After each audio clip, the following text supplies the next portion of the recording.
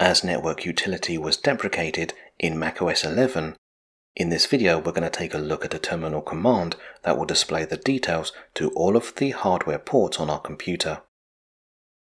You might find this command particularly useful if you need to know the device name of a network port. So let's get started by first opening a terminal session.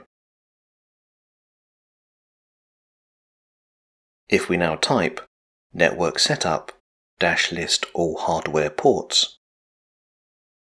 When we press enter on our keyboard, we are presented with a report detailing information about the different hardware ports on our computer. So for example, if we look at the details for our Wi-Fi network adapter, we can see the device name and MAC address for this hardware port.